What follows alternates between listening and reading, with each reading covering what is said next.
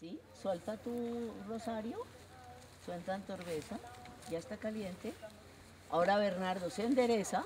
A ver, a ver, como le enseñó papá. La vueltica, hombre, Bernardo. Ya lo voy a lanzar. No, tiene que darle una vueltica. una vueltica. Sí, pero al eh. lanzarlo le doy la vueltica. A ver, pero hágalo.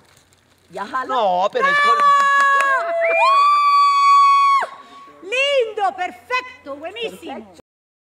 Nochebuena era una idea como muy vieja que la fui trabajando a lo largo de los años y de las vivencias, que es finalmente todas esas cosas que le pasan a las familias el día de Navidad, la Nochebuena.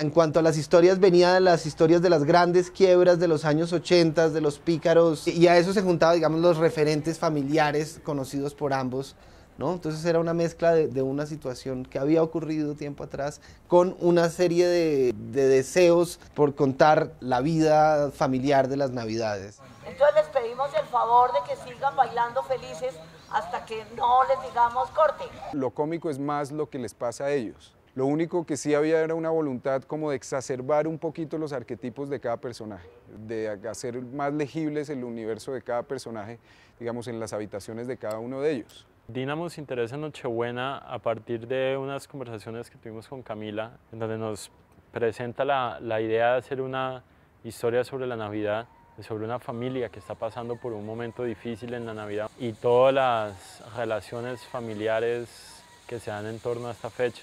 Sentimos que, que es un tema que no se ha explorado todavía en la cinematografía colombiana y que es un tema para grandes públicos.